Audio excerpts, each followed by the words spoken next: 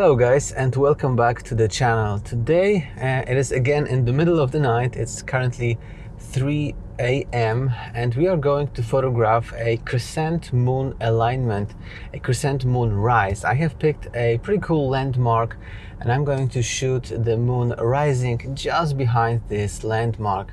A couple of weeks ago I have released a video on my channel of how exactly do I plan such photographs but today I'm going to take you into the field, show you my setup and show you how exactly such a moonrise can go down uh, for with me uh, hopefully capturing it. So let's go to the location and let me show you my setup. See you there.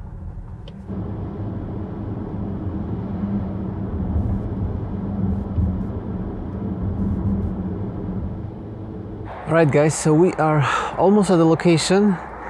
Uh, the moonrise is happening in like 15 minutes so I kind of need to be quick. So yeah let me set up and let me walk you through my my camera setup. I wanted to show you my setup but actually the moon appeared a little bit faster than I expected so I'm already shooting. I'm gonna walk you through my setup in just a moment.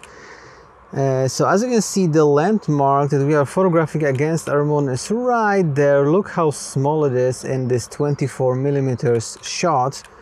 And right here on the back of the camera if I rack focus here as you can see this is how it looks so the landmark is this kind of a monastery and the moon is rising just behind it as you can see it is going diagonally I am currently shooting on a, with an external intervalometer this is the intervalometer that I use this is the Pixel TC252. I was reviewing this a while back on my channel. I highly recommend this remote.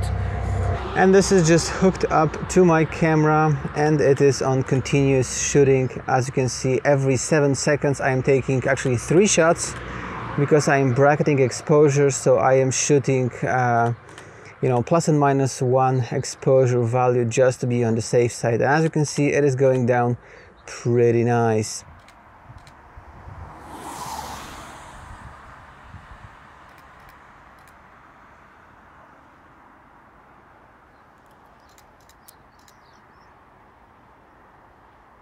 All right so the the show is over. The moon has already risen.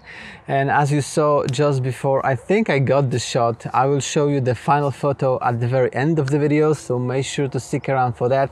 But let me just take a moment here to explain my setup. So as you can see everything is on a sturdy tripod. This is a tripod from benro. I can highly recommend it.